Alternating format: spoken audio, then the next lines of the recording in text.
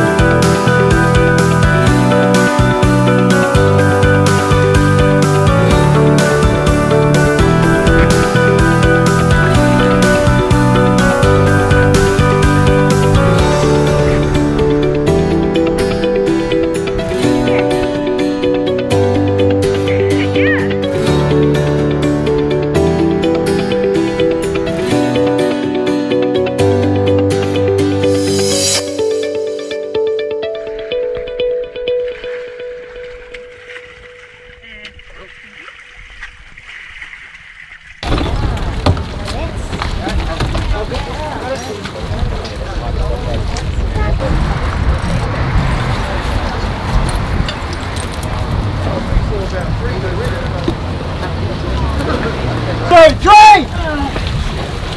One, two, three! Alright, Eddie, Eddie. Stop, stop, stop! We'll undo the, fr- the lift bag so we don't pop them. They're not cheap. You want a drink? That's a little champagne to celebrate with, lads. Thank you. Oh, enough for everyone. Another bottle coming up. One, two, three, heave! One, two, three, heave! One, two, three, heave! All right. On the count of three, we'll lift. One, two, three! Fudge me, Jesus! One, two, three, try! Okay, we're up. Now we just got to get it over there. They're kind of cool. They're kind of cool. Kind of like Put them on. Clean them up, they'll be fine.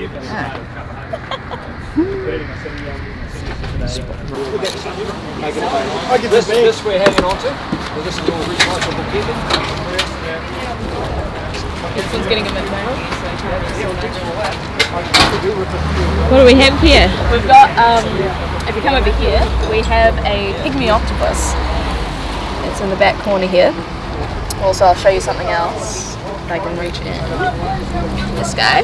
This is called a decorator crab. So these guys do is they stick bits of seaweed onto their backs used as disguise. So what we've been doing is decrittering all the rubbish that's come up today. So a lot of octopuses like to hide in bottles and things, so it's just removing all these guys and putting them back in the ocean without the rubbish. I am sweeping while we hose off and bucket out all the water. We've just brought this giant as tyres, probably from a truck or a bus. It's double rimmed, so it was like it was easily over 150 kilos worth of weight trying to pick it up. We've dragged it up here, we've emptied it out, but since we're good citizens, we're going to be cleaning up all the mud that we've left, so that way it's nice and clean for all the people that use Oriental Bay. How's it going? Um, I'm Chris, I'm part of the Lazy Seals and we're part of the free dive team for Ghost Fishing today.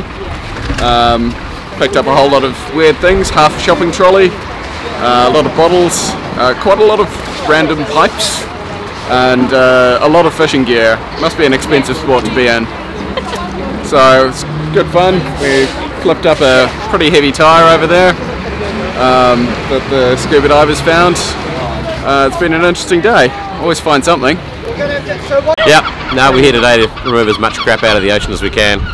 Uh, by the look of that, we've got at least a couple of tons worth of stuff here. Everything from one of the biggest metal radial tyres I've seen for a long time, uh, car batteries, I saw a whole bunch of street cones, I don't know, maybe 40, 50 kilos worth of fishing sinkers, and yeah, the usual the usual suspects, the street cones. We pulled a couple of e-scooters out before we even got in the water, so yeah, it looks like a successful day around.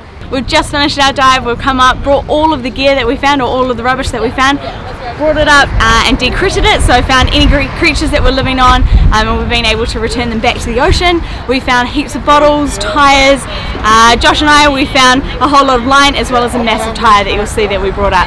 Uh, it's been an awesome day here, we've been able to engage with the community, showing them what it's like beneath the surface, and now we're off to find some lunch.